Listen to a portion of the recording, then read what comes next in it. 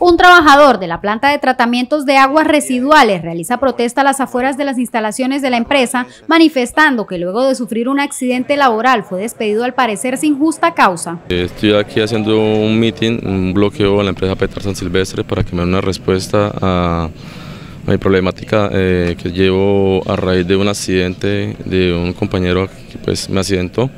Eh, es la hora y todavía no me han dado una respuesta.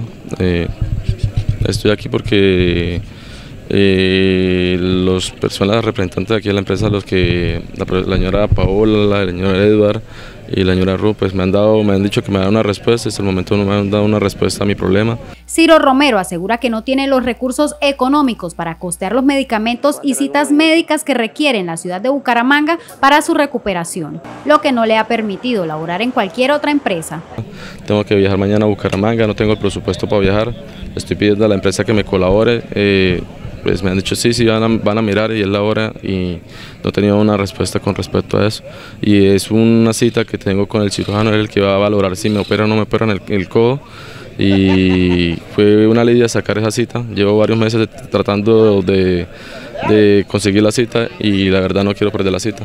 Veedores de la contratista aseguran que casos como este ya se han registrado antes en esta empresa. A mí me sacaron el 19, yo terminé en capacidad el 18 de julio, el 19 me echaron y ellos terminaron de trabajar en septiembre, terminaron labores acá.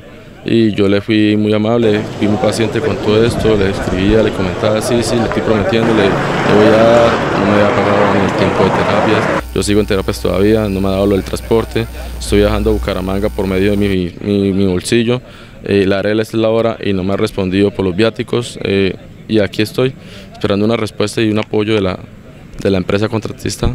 Se esperan las próximas horas una respuesta oportuna por parte de la contratista con respecto a este caso.